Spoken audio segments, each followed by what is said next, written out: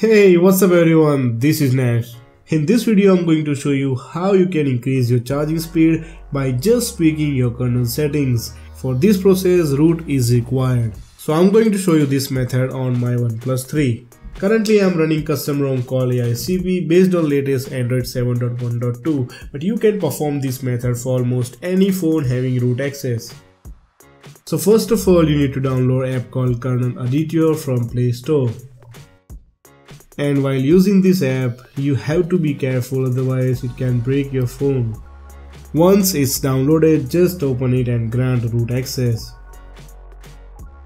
Now swipe right, go to CPU tab and then go to CPU governor and select power saving. Now scroll down, you will find another CPU governor, do the same thing, select power saving.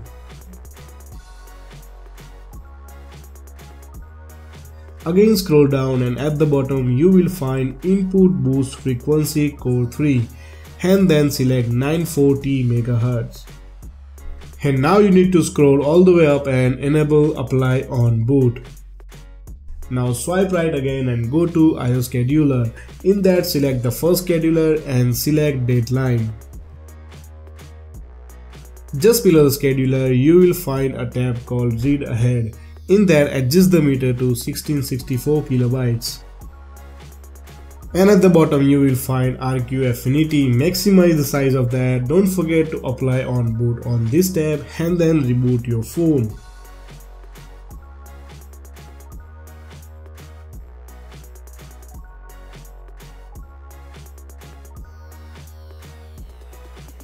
So after you apply these settings and once the phone boots up for very first time, let the battery drain to 0% and then charge your phone.